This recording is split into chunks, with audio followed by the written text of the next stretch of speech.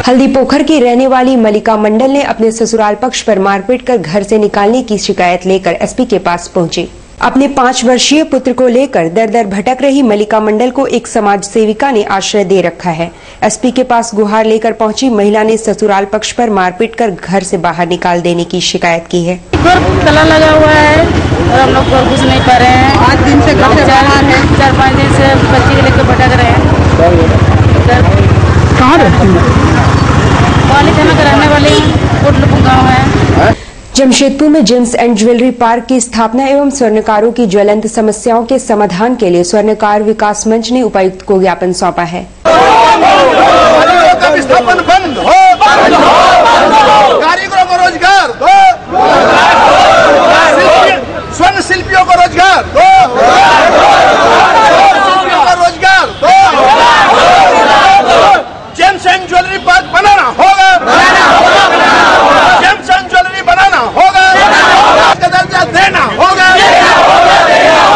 मंच दोनों के नवनियुक्त अध्यक्ष एवं विश्वकर्मा कारीगर संघ के अध्यक्ष मिलकर के हम अपने कारीगरों, दुकानदारों एवं स्वर्णकारों की समस्याओं को लेकर के डीसी महोदय के यहाँ हम लोग अपना ज्ञापन शांतिपूर्ण तरीके से देने आए हैं। आए दिन हम लोगों को दुकान में इतनी चोरी बढ़ गई है, उद्भेदन नहीं होता है। हमारी समस्याएँ हमारे कारीगर दिन प्रतिदिन बेरोजगार हो रहे हैं, अपने रोज़गार से पलायन कर रहे हैं। उसके विरोध में, उसके लिए हम उपायुक्त महोदय के माध्यम से, मुख्यमंत्री महोदय से मांग करते हैं और विकास आयुक्त महोदय से अपनी बातों को रखने के लिए इनके उपायुक्त महोदय के माध्यम से हम लोग आज एक ज्ञापन देने आए हैं। पटमदा क्षेत्र के गोबर घुसी पंचायत में डायरिया का प्रकोप फैला हुआ है। मंगलवार को भाजयुमो के कार्यकर्ताओं ने उपायुक्त को ज्ञापन सौंपकर गाँव में मेडिकल सेवा उपलब्ध कराने की मांग की है। हम डीसी साहब से मांग करने आए हैं कि कल ही पटमदा क्षेत्र के गोबर घुसी पंचायत के काशी काशीडी गाँव में एक आदमी डायरिया से मृत, मारा गया और हम लोग चाह रहे हैं कि पटमदा पूरे क्षेत्र में बरसात के कारण डायरिया फैल रही है। इसको रोक डीसी साहब से मांग कर रहे हैं कि इसको रोका जाए और हर जगह जगह पर कैंप लगा के गरीबों का सहायता किया जाए ताकि किसी के घर ना उजड़े। आज की तारीख में भी कुछ ऐसे लोग हैं जो अपनी जीवन दूसरों की सेवा और दूसरों की ज़िंदगी बनाने में न्यौछावर कर देते हैं। सरकारी नौकरी त्याग कर एक युवक सुदूर गाँव के बच्चों में शिक्षा का अलग जगाने का काम तीन वर्षों से कर रहा है। श्री महादेवगव नामक व्यक्ति शरीर से विकलांग है, पर इसके इरादे काफ़ी बुलंद और फौलादी हैं। अपनी नौकरी त्याग कर वे सुदूर गाँव में बच्चों को पढ़ाने में जुटे हैं। नक्सल प्रभावी कमरिया प्रखंड के करीब 10 गाँव के बच्चों को वे गत तीन वर्षों से शिक्षित कर रहे हैं, ताकि इन सुदूर गाँव के बच्चों में शिक्षा का अलग जगे और वे भी समाज की मुख्य धारा से जुड़ सके। अभी मैंने पिछले तीन साल से जो है कि हम डुमरिया ब्लॉक के जो जितने हम दस बड़ो गाँव है, जैसे कि आपका रंगा मटिया लांगो है ना दुबला, बेड़ा और उस मतलब लगभग दस गाँव के बच्चे को जो हम फ्री पढ़ा रहे हैं। और मेरे साथ और डॉक्टर बाबू सोनिया वो भी मतलब मदद करते हैं, दोनों हम लोग मिलकर पढ़ाते हैं, पिछले तीन साल से।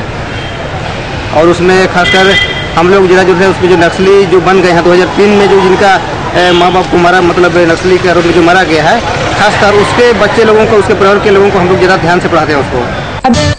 ब्रेक के बाद खबरों में फिर से आपका स्वागत है। धालबूमगढ़ के रहने वाले भादो टुडू ट्रेन से टाटानगर आने के क्रम में असावधानी असावधानीवश नीचे गिर पड़े और घायल हो गए। उनका इलाज एमजीएम अस्पताल में चल रहा है।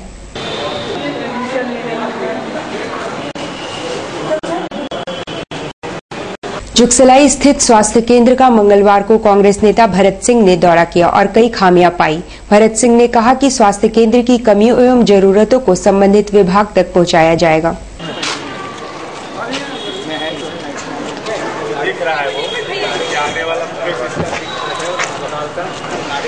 आपके लीडरशिप में ये आगे बढ़ेगा।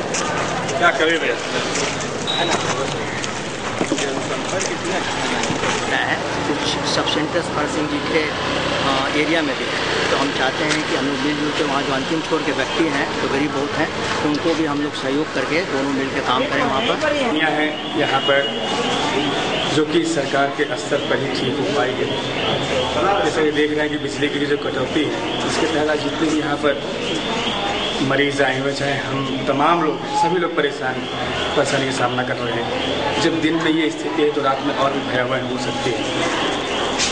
हमने इनसे कहा है, इनको बताया है कि माननीय स्वास्थ्य मंत्री जी राजेंद्र प्रसाद सिंह जी से हम लोग बात करेंगे। और निश्चित रूप से जो भी अच्छे कदम होंगे, एक जनरेटर की व्यवस्था अगर हो सकती है तो हम लोग वहाँ से डिमांड करेंगे यहाँ से। कदमा में अग्रसेन जयंती समारोह के अंतर्गत मेहंदी रचाओ प्रतियोगिता का आयोजन हुआ जिसमें बड़ी संख्या में युवतियों ने भाग लिया।